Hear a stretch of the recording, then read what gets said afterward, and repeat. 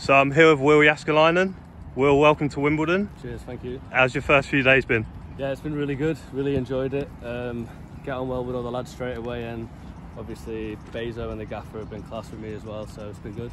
Yeah. How are you finding Bezo to work with? He's a big character, isn't he? Yeah, he's brilliant. Yeah, loads of energy, lots of lots of good things. Just only good things I've had so far, so really enjoyed it. Yeah.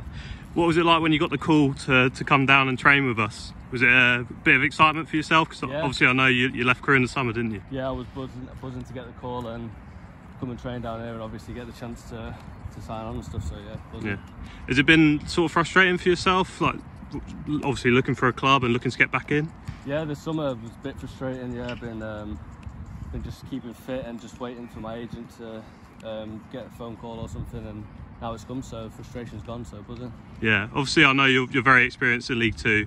What would you say is the, you know, toughest thing about the league and, and what, how, do you, how did you find your experience of it when you were at Crewe Yeah, no, uh, just lots of games Saturday, Tuesday. You've you always got to be ready for the games and got to prepare all year round because it's, a- it's a long season. So yeah. Yeah. Obviously, a month goes very quickly in football. What's your sort of main targets for while you're here? Yeah, I'm just here to obviously to help Wimbledon get points and obviously play for Wimbledon. So hopefully last longer than a month. That's what that's what I'm hoping. Yeah. And then, did you know too much about the club before you came here? I've uh, played against Wimbledon a lot, and obviously I've heard of Wimbledon lo- loads. So yeah, it's a bit.